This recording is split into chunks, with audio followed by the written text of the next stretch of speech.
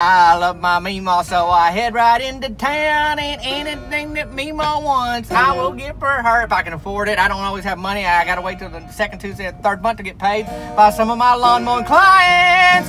Clients.